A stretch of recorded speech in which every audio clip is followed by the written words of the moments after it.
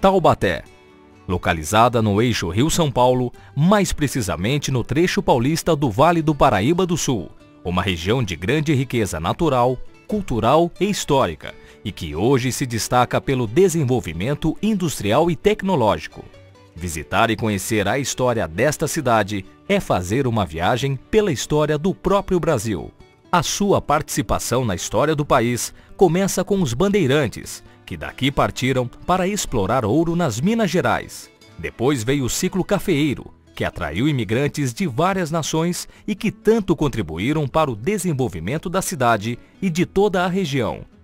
Essa influência fica evidente nos costumes e na arquitetura da cidade, com suas construções centenárias, casarões do século XVIII. Igrejas que vão do estilo barroco paulista, como da Catedral de São Francisco das Chagas, ao estilo neogótico do Santuário de Santa Terezinha.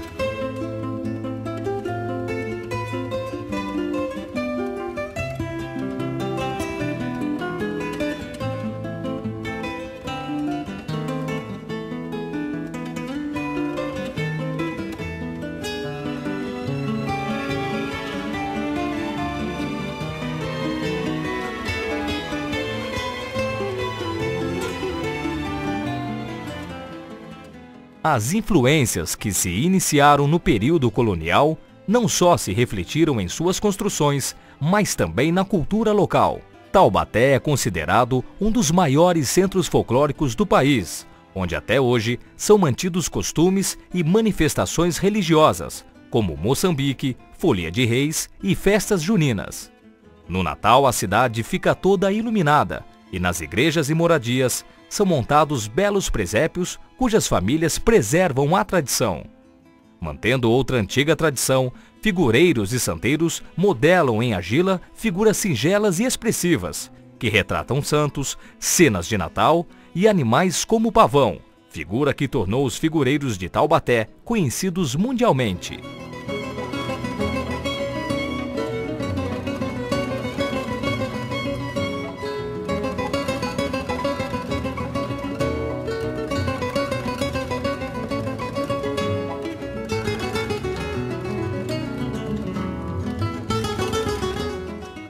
Outro destaque da nossa cidade, de onde se pode ter uma vista privilegiada, são os monumentos ao Bandeirante e ao Cristo Redentor, que tem 23 metros de altura, incluindo o pedestal, cujo interior está a capela dedicada a Nossa Senhora da Paz.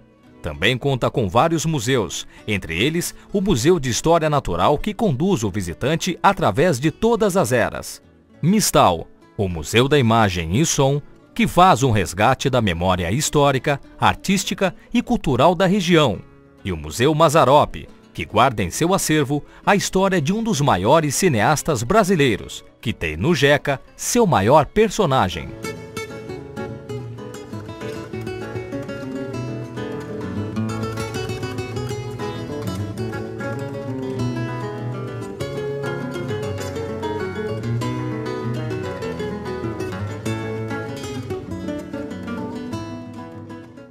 Outra opção é o turismo rural e ecológico, que é muito diversificado.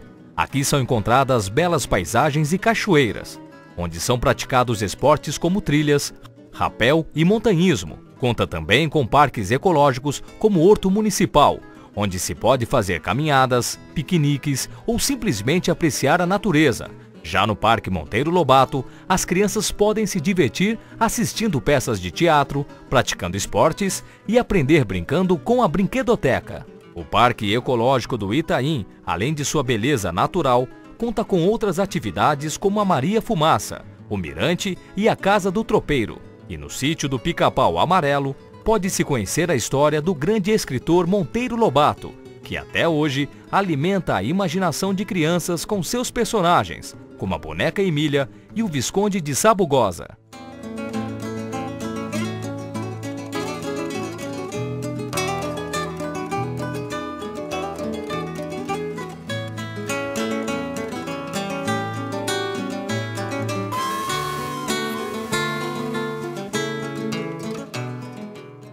Nos últimos anos, Taubaté tem se destacado pela realização de grandes eventos como a Copa Mitsubishi, o Carnaval, que é considerado um dos melhores da região, e a tradicional festa da colônia italiana de Quiririm, que comemora a chegada e a saga dos italianos na região, com muita música, danças e comidas típicas italianas.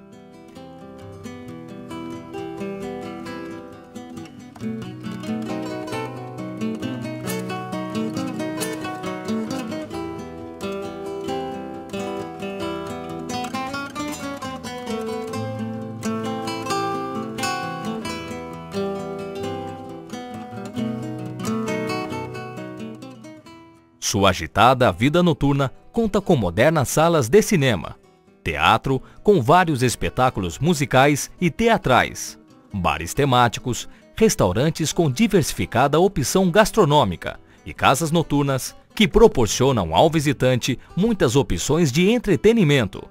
Com uma rede hoteleira bem estruturada, a cidade oferece aos visitantes muito conforto e tranquilidade.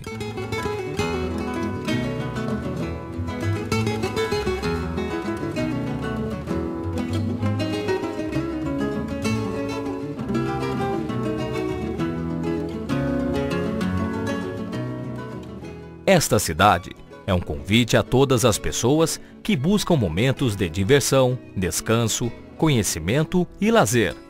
É com muito prazer que a cidade de Taubaté receberá a todos com a garantia de uma recepção calorosa deste povo alegre e hospitaleiro.